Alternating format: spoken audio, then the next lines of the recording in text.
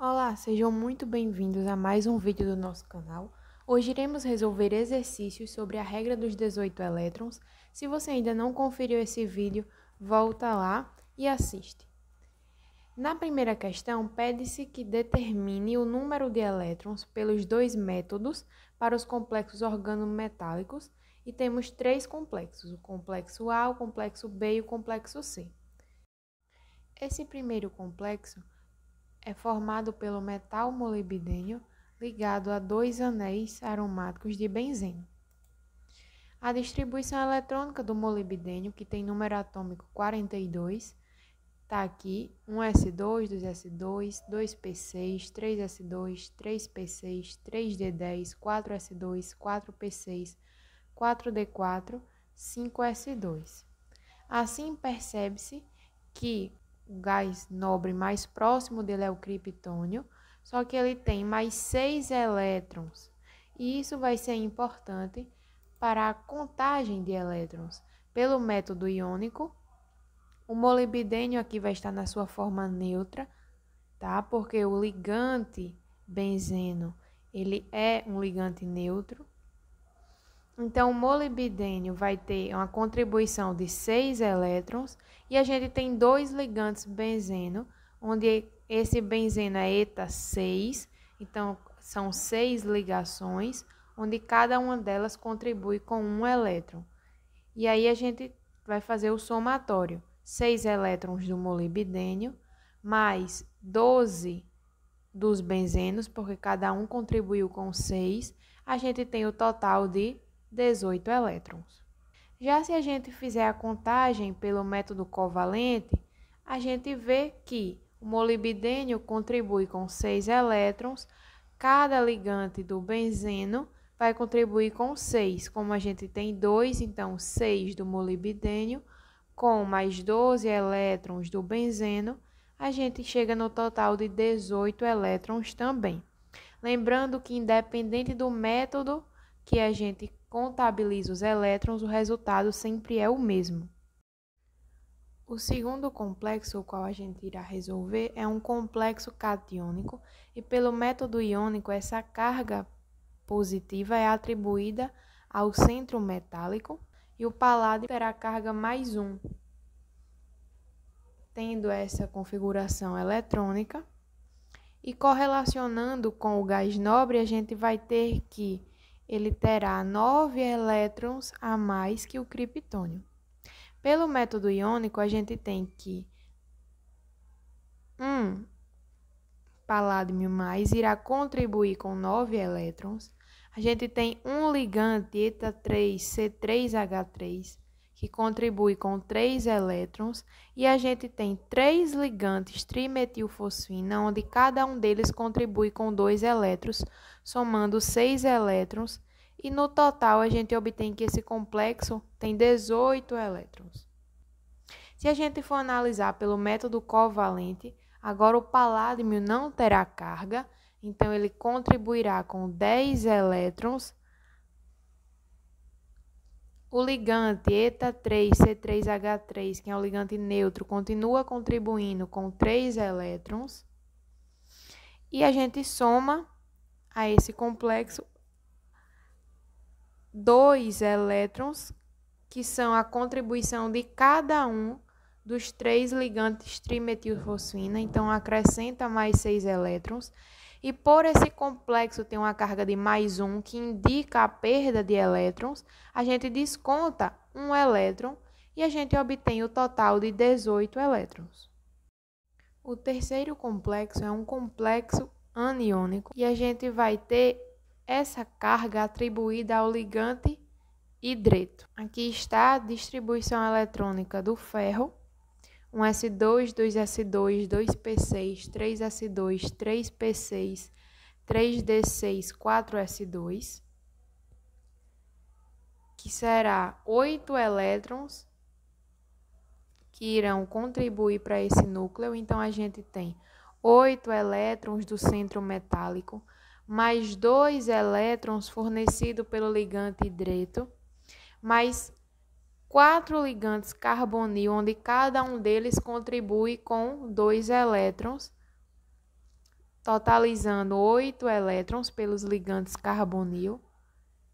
E no total a gente tem 18 elétrons.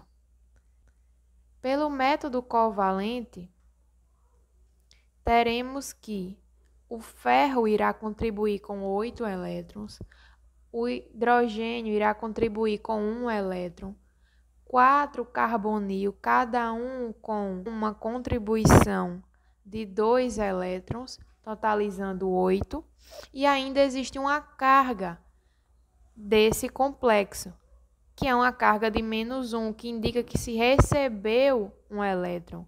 Então, consequentemente, a gente acrescenta um elétron à soma e no final a gente obtém 18 elétrons. A segunda questão diz que, conforme a regra dos 18 elétrons, indique o metal do complexo dado, sabendo que o metal é da primeira série de transição. Então, se a gente for analisar pelo método iônico, a gente vai ter aí um metal com uma carga positiva, já que a gente tem um ligante aniônico, que seria o halogênio, o Br- aí.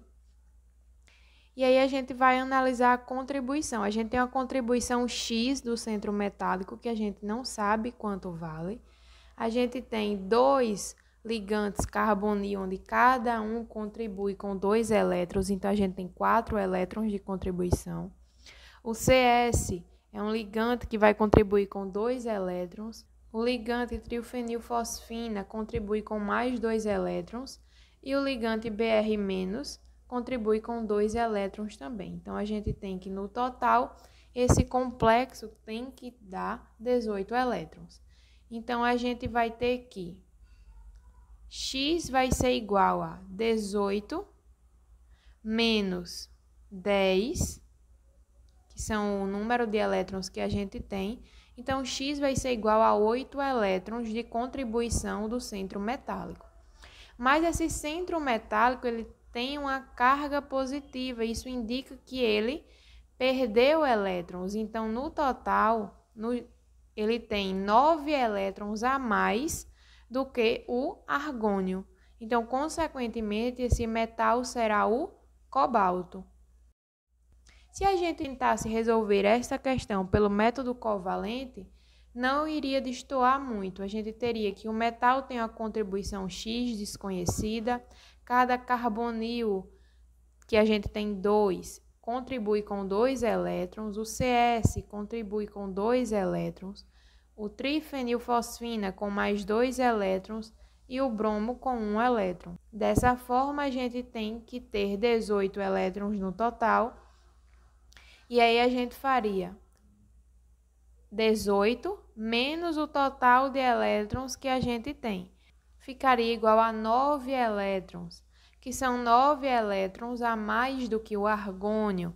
Consequentemente, esse metal tem que ser o cobalto. Veja que por ambos os métodos dá o mesmo resultado. A terceira questão que é que a gente encontre o valor de x para um específico complexo, respeitando a regra dos 18 elétrons. Então, se a gente for resolver essa questão pelo método iônico, a gente vai ter que o tungstênio vai contribuir com 6 elétrons, já que todos os ligantes são neutros, então ele não vai ter carga. O ligante benzeno vai contribuir com mais 6 elétrons e cada ligante CO, cada carbonil contribuirá com 2 elétrons. Então será duas vezes X, porque a gente não sabe quantos carbonil serão necessários para atingir a estabilidade, ou seja, os 18 elétrons. Então a gente fará aqui X será igual a 18 menos os 12 elétrons dividido por 2. A gente encontrará que x é igual a 3, então para esse complexo ficar estável é necessário 3 carbonil. Se fosse ser resolvida essa questão pelo método covalente, a gente chegaria no mesmo resultado. O tungstênio contribui com 6 elétrons, o benzeno com mais 6 e cada carbonil com 2. Fazendo o somatório tem que dar 18 elétrons para atingir a estabilidade. 18 menos 12 dividido por 2, x é igual a 3. Então, nota-se que é, encontra-se o mesmo resultado tanto pelo método iônico quanto covalente. Espero que vocês tenham gostado. Até o próximo vídeo.